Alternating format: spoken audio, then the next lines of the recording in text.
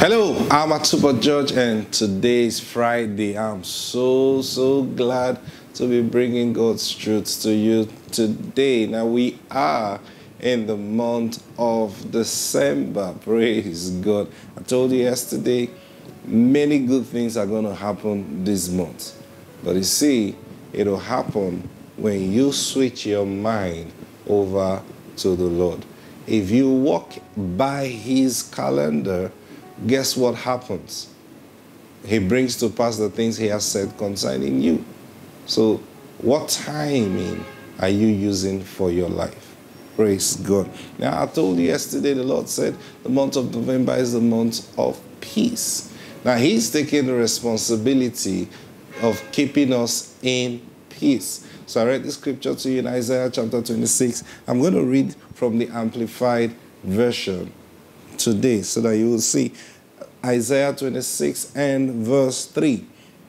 It says, You will keep in perfect and constant peace the one whose mind is steadfast, that is committed and focused on you in both inclination and character because he trusts and take refuge in you with hope and confident expectation. Now, take note of those words. Now, the reason we read several translations is to help our meditation. See, because meditating on God's word simply means putting life, giving ingredients to your thoughts based on that scripture. See that? That's where we meditate on scriptures. So now it says, You will keep in perfect and constant peace the one whose mind is steadfast, constant. The mind is dead. That is committed and focused on you in both inclination and character. I told you yesterday, the Word of God ought to influence every decision you take. That's when you know that you are living by the Word of God. When the Word of God influences your decision, soon the Word of God will reflect in your character. Because your character is your, your character is known by the constant decisions you take. If you see something here that doesn't belong to you and you easily take it, you might take it the first time. Someone said, mm, maybe you thought it was yours or something. But when it becomes a constant thing that you do, someone say, look, you are a thief. Why? Because you have displayed the character of a thief. You see that now? So there must be constant consistency in your action, and your action is based on your decisions. Because before you stole, you will still you have to make up your mind first. You will look at the situation. You know it's not yours. You know if you take it, if someone is going to miss it, you still took that decision to take that thing. See that? Now, it's your character. Praise God. The same thing with righteousness. If you constantly do righteousness, then it shows that you have the character of a righteous person. So when he says the one whose mind is stayed on God in inclination and character. So what does it mean inclination? He's inclined to do this. So now you get to that point where someone knows that I know what he's going to do or I know what he will never do in this situation. I can tell. Why? Because the person have seen you at other times done that thing the way he is expecting you to do it. So they feel you know better. So that's your inclination. See that now? So you are always inclined to do stuff. So someone comes, I know if this person is here, he's going to pray. And when he prays, God will tell him what to do. Now that's your inclination. Your inclination will be to yield to the voice of God or to the mind of God to help you in that situation. Character is, the, is, the, is shows by the constant decisions that you make. Praise God. So if your constant decision is based on truth, if your constant decisions are based on the Word of God, then it means you begin to reflect the character of the Word of God. Now it says, the one who does this will dwell. God takes responsibility in keeping him in perfect peace. It doesn't matter what's going on in the society. He's just at peace. I'm telling you, people will wonder at him, say, Come, how come you're not moved? Oh, come on, praise God. You can't be moved. Why won't you be moved? Because your stay is in God. You will only move when God tells you to move. As long as you are where God has commanded you to be, let the heaven, let the earth burn. Praise God. You will not be touched. Why? Because that's how you dwell in the secret place of the Most High. The secret place is the place of His Word. The secret place is the place of His dwelling. If He has told you to stay there, then, I mean, stay there. If He's told you to get an apartment, then get the apartment. Guess what? You will never have challenge paying the rent or buying up that property. Why? Because you took that decision based on His word that came to you. Everything about your life should be by His word. Your mind should be inclined to listening to Him. Your character should reflect His word in your life. Brothers and sisters, that is how you dwell in not just peace, but perfect peace. Don't start troubling your mind. Oh, the year is coming to an end. I don't know what I have done this year. I don't know. Come on, those are not the things you should bother yourself about right now. What you should think about right now is, Lord, what's on your mind for me now? Not in January, now, now. You know the truth because He's the only one that can cause your life to connect with everything you think you have missed this whole year. He can give it to you in this one month. But in knowing that, see, prayer is one of the vital things you need to get your mind to stay on Him. Because when He says, whose mind is stayed on Him, what is your mind staying? Your mind is not just staying, is there's God, I know there's God, I know there's God. No. When He says, whose mind is stayed on Him, he is talking about the one who have received the word of God and he is waiting for the fulfillment of God's word. You want to travel. You remember Isaac's case. There was famine in the land. Everybody was going down to Egypt. But Isaac got to that place where God said to him, Don't go down with them to Egypt. Stay in this land. Now, Isaac decided to stay Isaac decided to stay because of the word of God that came to him. See that now? So Isaac's mind was stayed on God.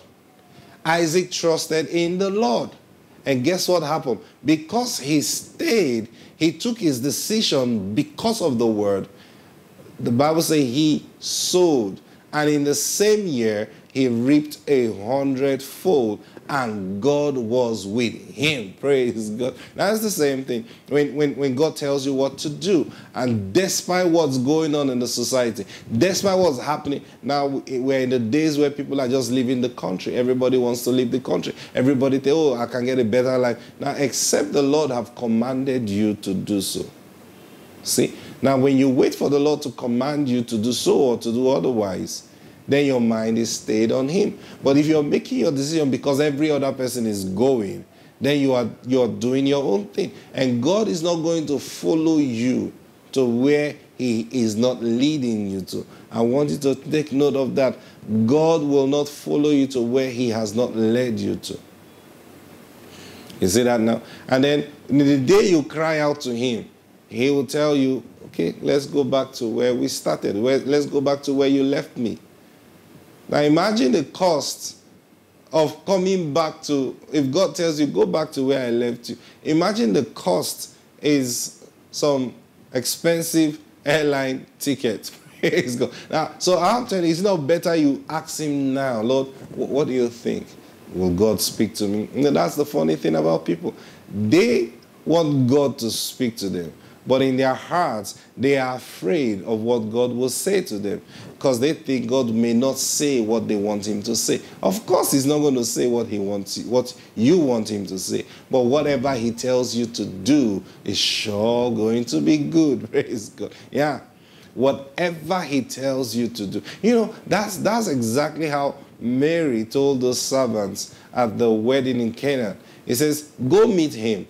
Whatever he tells you to do, do.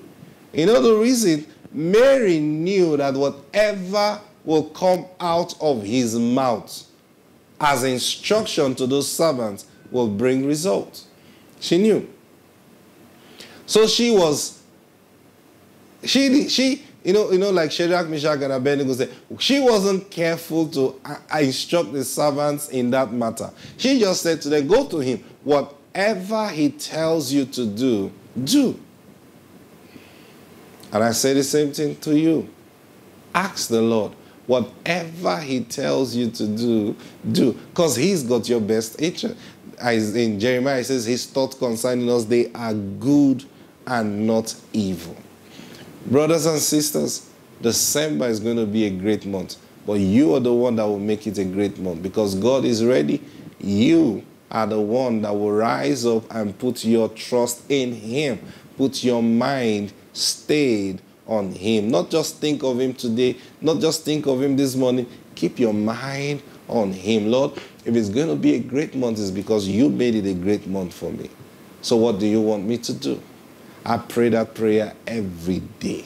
Lord, what would you have me do today? If you show me what you want me to do, that's exactly what I would do. Praise God. And, and, and by that, God have blessed me. By that, God have opened doors for me. By that, God have protected me. Praise God. Now, that's where you want to live. In the right and perfect will of God. Praise God. Now, today, we are starting our 247 prayer watch over our nation. Now, listen, this is a very important prayer meeting that I encourage you to join. I encourage you to join. Choose your hour. Now, when you choose your hour, it means you're going to be praying every day at that hour. So you choose a convenient time for yourself. Now, if you sent us a message and we told you that hour is filled up, it means there are certain other hours that are still um, vacant and we need to fill. So we'll send you all those suggestions. Now, this the, the prayer meeting, you are going to log in, you're going to join in via Zoom, and because we'll send you the link. You join via Zoom, and when it's your hour, you can pray. Now, if you want to stay, continue staying online after your hour of prayer, you are free to do so. But when it's your hour, you are taking charge of your hour and you pray you, you, you, you unmute your mic and you pray. God is about to change things in our nation. And let me tell you this truth when He is done, you are going to like what He is doing. Praise God. And it's going to be obvious to everybody that this is the hand of the Lord, not what politicians are doing. This is not politics at all. This is the mighty hand of God showing up in Nigeria.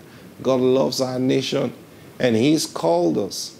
Listen, we may have failed Him before, but we will not fail Him now. Because we are wiser, we are smarter. He's shown us His mind, He's revealed His will to us. Praise God. So as we pray, one hour praying in tongues, that's even good for you.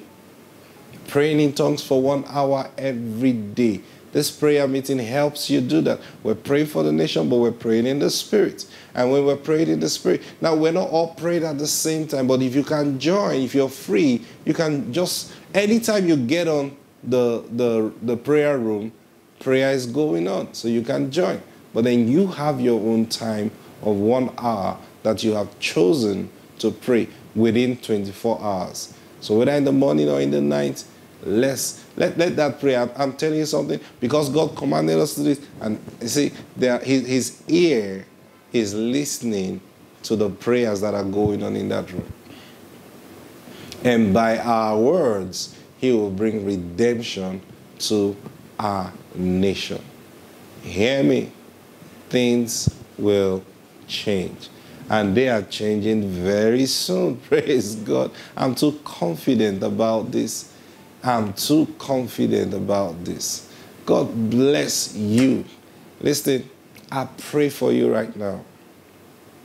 Whatever expectation you carry in your heart throughout this year, 2022, I pray that the Lord will take you by the hand and begin to guide you into the truth of those things until you begin to see the manifestations of them. In the name of the Lord Jesus Christ. If there is any sickness that you have been battling with, hear me. That sickness is leaving your body right now. In the name of the Lord Jesus, the pain in the neck, the pain, the, the migraine headache is gone from you right now the pain in the neck is being healed right now in the name of the Lord Jesus. Every problem with your spine, I speak healing right now. I speak healing right now. Be healed. Every challenge with your knee, with your legs, your bones. They say your bones are getting weak. Receive strength from the Lord right now in the name of the Lord Jesus Christ. Every problem and challenge with your eyes, be healed. Be healed right now in the name of the Lord Jesus Christ. Heart problems, heart problems are being healed right now in the name of the Lord Jesus Christ. The Lord is dealing with everything that have to do with circulation of blood in your body. Be healed completely. Let your veins, your, ve- your arteries, let them begin to work normally in the name of the Lord Jesus, I speak health to your heart. I speak health to your heart. Be healed in the name of the Lord Jesus Christ. You're dealing with high blood pressure, it's becoming normalized right now. I speak against diabetes. Be healed. Be healed. I command you to leave your body now in the name of the Lord Jesus Christ. Amen. Someone the, your ankle, the ankle of your right leg, the ankle of your right leg, it affects your walking. Be healed right now. Everything that have to do with bones, I'm seeing God, the Lord strengthening bones. I'm seeing the Lord healing bone issues. Bone, bones are being corrected. Be healed right now in the name of the Lord Jesus Christ. Thank you, Lord Jesus. Thank you, Lord Jesus. Thank you, Lord Jesus. Every expectation that you've been carrying in your hearts, it's not too late. Praise God. He will grant you this month of December. Receive it in Jesus' mighty name. Amen. God bless you. I expect to see you in our prayer room. Praise God. Bye.